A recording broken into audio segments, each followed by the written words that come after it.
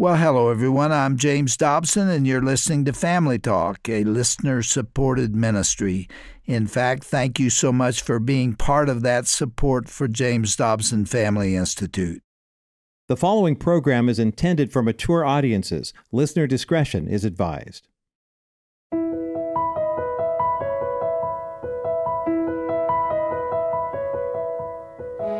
Greetings and welcome to Family Talk, the broadcast division of the Dr. James Dobson Family Institute. I'm Roger Marsh, and we have a very special interview to share with you here today on Family Talk. Our guest is author Claire Culwell. Claire is an internationally known Christian speaker, pro life advocate, and an abortion survivor. Her newest book is called Survivor An Abortion Survivor's Surprising Story of Choosing Forgiveness and Finding Redemption. It's available now wherever books are sold, by the way. Claire is married to David, and they make their home in Austin, Texas with their children. Today, Dr. Tim Clinton will be talking with Claire about her incredible story and God's faithfulness throughout her life. You won't want to miss a word, so let's listen in right now. Claire, what a delight to have you join us on this edition of Family Talk. Thank you for joining us. Thank you so much for having me. This is an honor. Claire, when I went through your story, I was mesmerized. It was kept me spellbound, really. Let's go all the way back to um, the adoption by your parents. You were adopted. Uh, it was a close adoption, and uh, your parents were very well. They were unfamiliar with your birth story, like you were.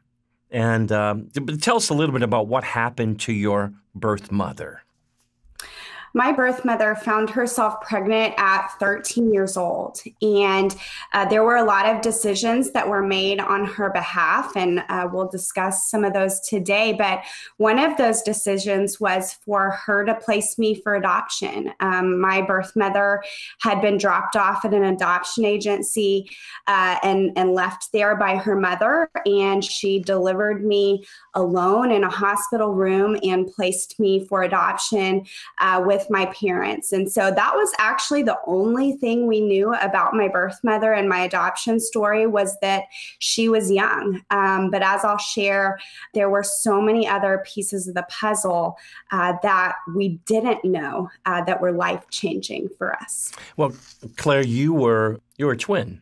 Your mother uh, wound up being basically forced by her mother, your grandmother, to go have this abortion obviously 13 years old, family situation, very complicated, tragic, horrific. We'll talk about what it was like for your mother, your birth mother, to go through this process a little bit later. But Claire, can you explain um, some of the details around what happened? Your mom grew up in Oklahoma, and uh, she's what, 20 some weeks pregnant, and she's having to go have an abortion at 13 years of age.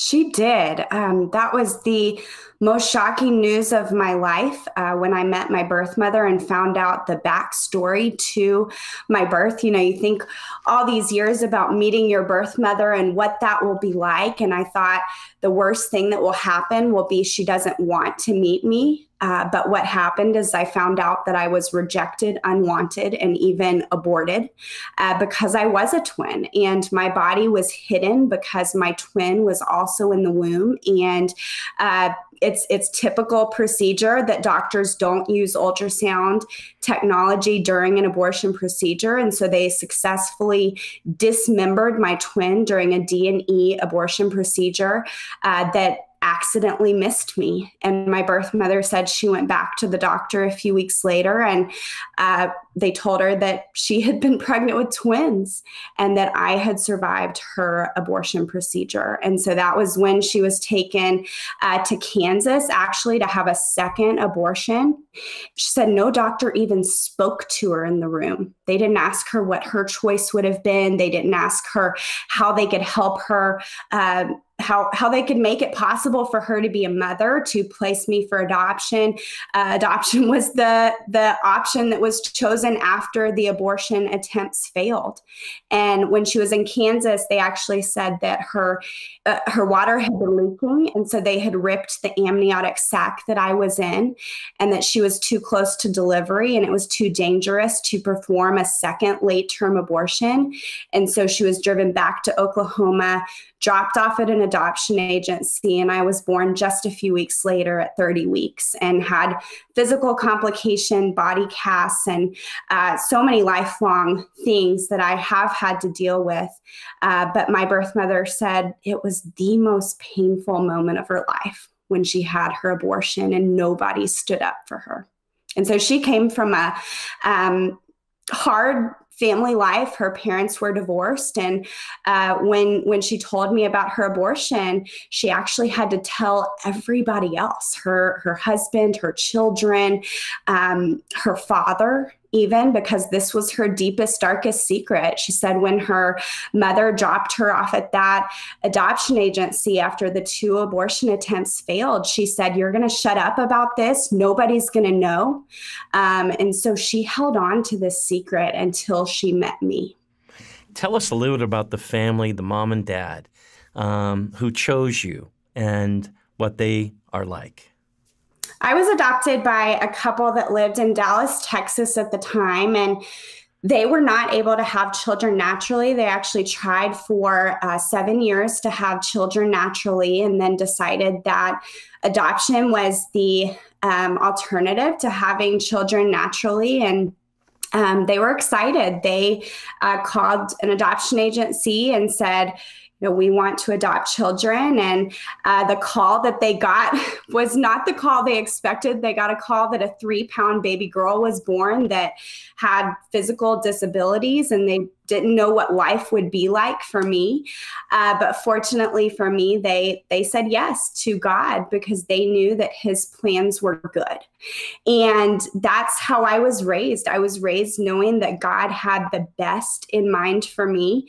Uh, I knew that I was wanted, chosen, and loved, and I know that because of my upbringing, because of what I knew about God and who I was, because of who He said I was, but also who my parents said I was in their family I knew going into meeting my birth mother that circumstances would never change those things, those truths about me. And so my ability to respond the way I did and see hope and forgive my birth mother is truly a testament to my parents. And I saw them be obedient to God and love people well. We lived in Mexico for a year growing up and Costa Rica for a year growing up. In fact, the best year of my childhood was in Mexico at 13 years old, uh, going to a Mexican Spanish speaking school. Um, but my upbringing was was truly what set the stage for what would come in my life and the shocking news that I would find out. Claire, as I read uh, your story and was thinking about your growing up years, it was quite fascinating how God was preparing you and the unique heart God was giving you. You uh, desired to become a nurse. You had a lot of interaction with different people who had different challenges in life, but God kind of drew you to them. And uh, again, was preparing you, I think, for a unique role in ministry that we're going to talk about later here. But tell us a little bit about what God was doing in your heart, what you really believe He was doing.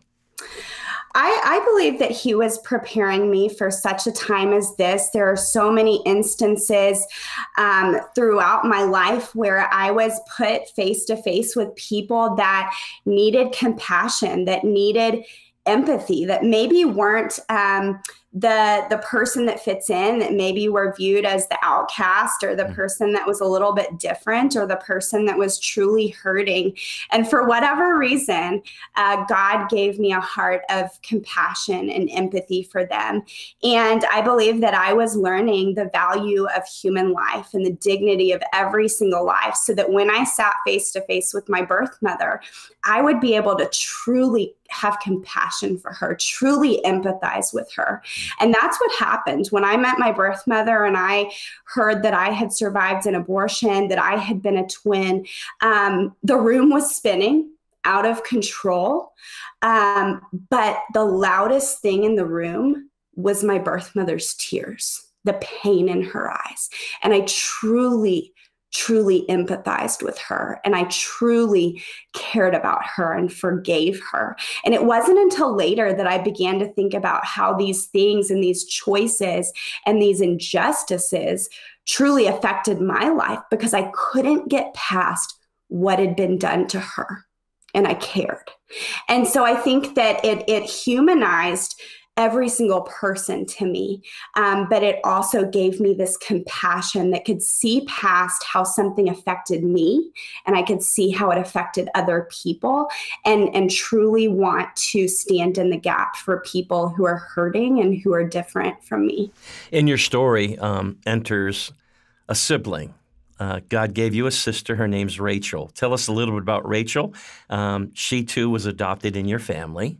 She was. My sister uh, was adopted two and a half years later, and um, she is just the most likable person you'll ever meet. And uh, we have funny stories growing up. We used to play orphanage as a child, that we were orphans, and it's funny considering we were adopted that we would play play orphanage, and um, we would dream about what it would be like one day when we would meet our birth mothers, and we wondered if it would play out like the movie Annie. Um, we were truly a, a little team growing up. And I'm so thankful for her. It was actually her desire to meet her birth mother that uh, sparked my interest, I guess, in, in reaching out and meeting my birth mother because I got to see how much they looked alike and how much they acted alike. And that's what sparked my interest in meeting my birth mother was the fact that I wanted to thank her uh, for giving me my life and my family in the same way that my sister Rachel's birth mother um, gave her hers and gave her to us.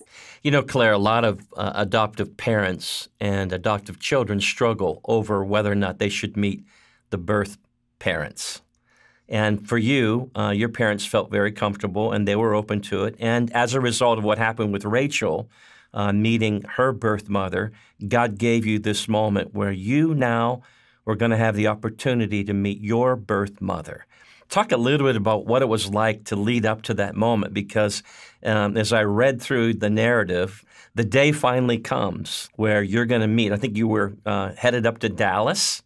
And tell us what it was like, what was going through your heart, your mind as you are preparing to meet your birth mother and to figure out uh, what the story was behind uh, why she placed you, right?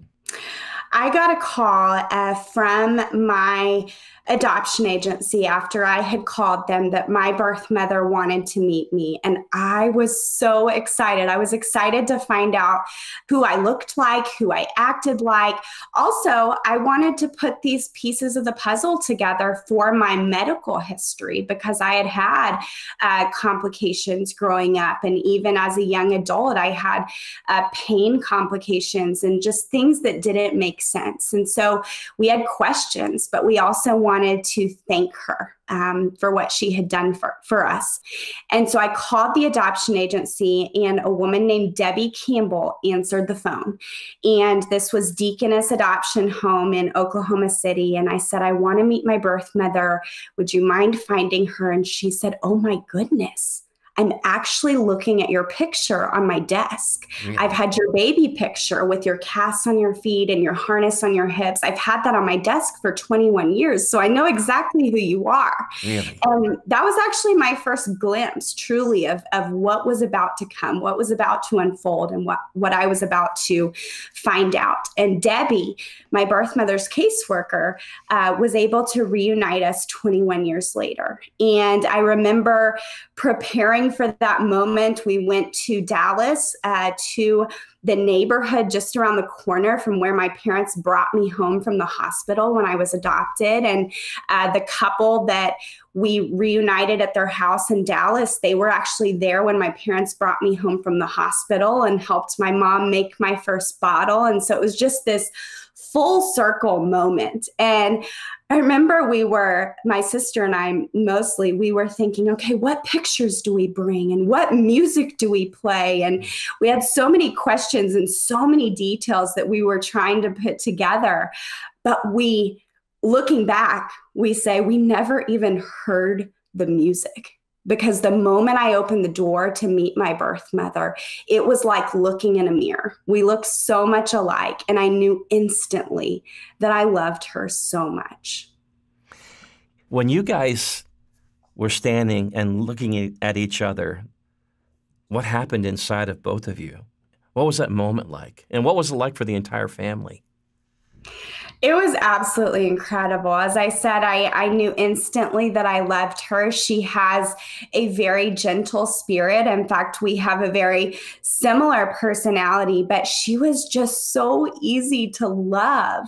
And my my parents, of course, are are the ones crying the most because they knew what a gift she had given them. She had completed their family, um, something that they prayed for years and years and years, and wondered if God had forgotten them. But all all this time, he was waiting to show them exactly what he had for them. He was going to give them the most unwanted child and make her the most wanted child through their love. And I, I, truly believe that I have been that because of the love of my parents. And so it was this another really full circle moment as um, not only questions were answered, but we were able to see, like, gosh, how life would have been different but because of God, because of his faithfulness and his hand on my life, my life has been so incredible and has been preparing me for these moments right now where he's using me um, in the way that he intended to.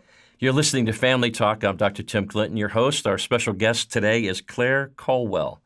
She is the author of the book Survivor, an abortion survivor's surprising story of choosing forgiveness and finding redemption a lot of story here, an amazing, amazing um, narrative that God has certainly woven together. Claire, I wanted to come back to that initial meeting um, was special.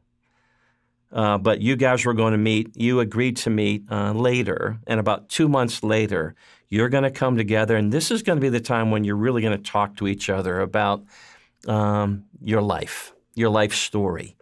Claire, getting ready for that, you decide in your heart that you're going to give her, your birth mother, a present. Can you take us into that moment? My love language is gifts. And so I knew I wanted to give her something. And the purpose was to kind of break down the lies that women, mothers who place their babies for adoption, uh, what they believe about themselves, that maybe they weren't good enough mothers or whatever they they think i wanted her to know that she was the best mother for me because she gave me my family and my life. And so i got her a ring and a necklace and they had my birthstone on it and I was so excited to give it to her. And I got there that day and gave her the ring and the necklace. And on the plane on the way there, I had written a card. And all I wrote, uh, just because I couldn't figure out how to summarize everything I wanted to say. All I wrote was, Thank you for choosing life for me.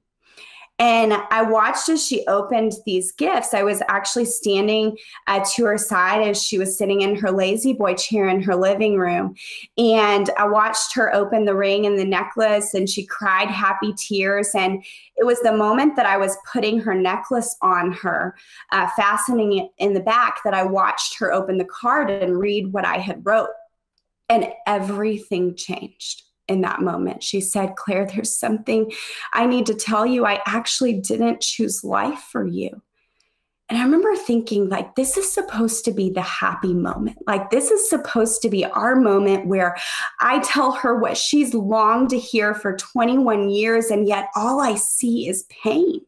And she had tears streaming down her face and she was shaking.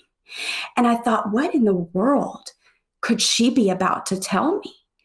And we sat on this bed in this room. And I remember she turned and faced me. And it was the most painful look I have still to this day, I have ever seen in anyone's eyes. And she said, Claire, I was not only 13 years old, but I was told that abortion was my only option by my mother. And I had a D&E abortion procedure that successfully aborted your twin, but you survived. And she began to tell me this entire story. And it was the most shocking, the most life changing moment of my life as I was able to put together the pieces of the puzzle that the woman who has an abortion is someone like my birth mother. And the person who's been affected by abortion is someone like me. And the reality that I didn't think about these things. I didn't hear about these things from my church, from my family, from anyone that I knew until I learned that I had been the person who was affected by it. Her tears changed my life that day. As I read in your book, Claire, uh, it told of your mother being in a clinic alone and scared. I can't even imagine a 13 year old girl. Basically, told that after it was over, we're going back to school the next day. The whole episode, um, we're just going to move on and pretend like nothing ever happened. And as she is telling you, Claire, your birth mother is telling you this, I'm sure you were you felt like you were talking to that 13 year old girl. You know, they say in trauma that mm-hmm. people don't remember what they went through, they relive it. And no doubt in that moment, she was reliving what it was like for her at 13 years old. And these words, I, I wrote these down in my note. We can't, this is her mother talking to the doctor after she found out that you were still alive in her. We can't let that little whore get away with this. It will embarrass the whole family. Get rid of it. Claire, I, I don't know what you'd do in that moment as a as a daughter with your mother. What what began happening inside of you? You know, I I put myself in my birth mother's shoes and um, at 13 years old, who do you trust? You know, you trust your your parents, you trust that you they know what is best for you. And so as she's telling me these things, I I think that's the one of the things that truly helped me empathize with my birth mother is that I believe and know that she was a victim too. Um, and that the eye opening part for me is that this is happening every single day. This is happening to 13 year old girls every single day across the country. Um, and I believe that it's happening because the church is apathetic and silent. And so the abortion industry is over here screaming, We're here for you. Uh, we have what can solve your problem, and we're going to walk alongside you through that. Um, and and I believe that the church should be screaming even louder. We're here for you we are going to support you and love you and walk alongside you. And there's grace and hope for you. Um, and so, because of how I was raised, I, I think that I was able to um, humanize not only the unborn child through no, the knowledge that I had been a twin, through the knowledge that my humanity was no different than your humanity or anybody else's humanity, um, that my choice as a unborn um, woman was denied, but also my birth mother's was. She wasn't given a choice. Nobody said the words that every single woman uh, and little girl like her longs to hear in their moment of desperation, which is, You're not alone. You can do this because you are strong enough, and we are going to be there along the way. And I longed for that for her.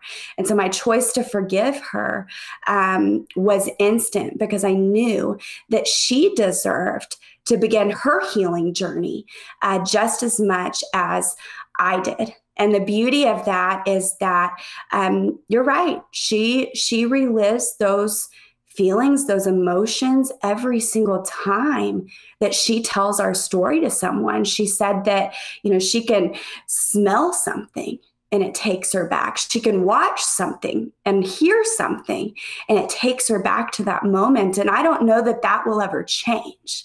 But the beauty is that our story, the way that we tell it, the way that um, we think about it, it has changed because we have victory over what has happened to us because Christ has victory in that. In your journey, your adoptive father said, Always remember, Claire, we wanted you. We chose you. And even though you're older now, we still love you more than anyone has ever loved a child. What a story. Uh, we've got more to come. Uh, stay with us for the second part of a story of amazing redemption that has come her way too, and a lot about her ministry that God's doing to help her be one of those strongest voices out there in the pro life movement. Claire, thank you for joining us. Thank you so much for having me.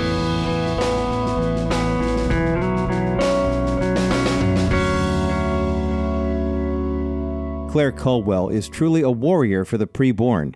Her powerful testimony has touched lives all over the world, and we hope that it has blessed you today as well.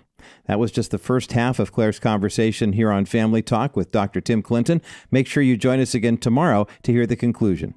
Now, to learn more about Claire Culwell, her ministry, and her brand new book, visit our broadcast page at drjamesdobson.org. Again, that web address is drjamesdobson.org or give us a call at 877 732 6825 and find out how easy it is to order a copy of the entire conversation between Claire Caldwell and Dr. Tim Clinton. That number again is 877 732 6825.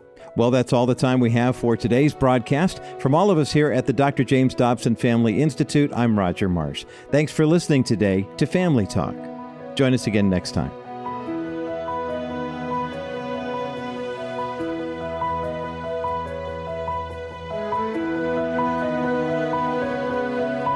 This has been a presentation of the Dr. James Dobson Family Institute.